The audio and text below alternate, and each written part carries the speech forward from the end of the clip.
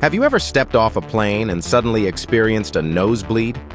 Frequent air travelers often face this uncomfortable issue, and the cause lies in the unique environment inside airplane cabins.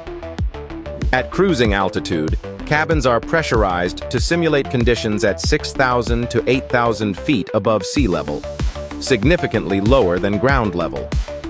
This pressurized air is also extremely dry, with humidity levels dropping as low as 10 to 20%. Such dryness pulls moisture from your nasal passages, leaving the delicate blood vessels inside more vulnerable to cracking and bleeding. Additionally, the rapid pressure changes during takeoff and landing place extra stress on these fragile vessels.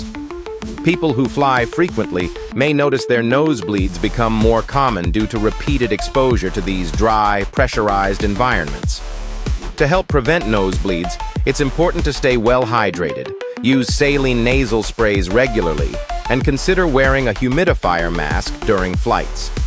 These simple steps can keep your nasal passages moist and healthy, reducing the risk of bleeding and making your next flight more comfortable and nosebleed-free.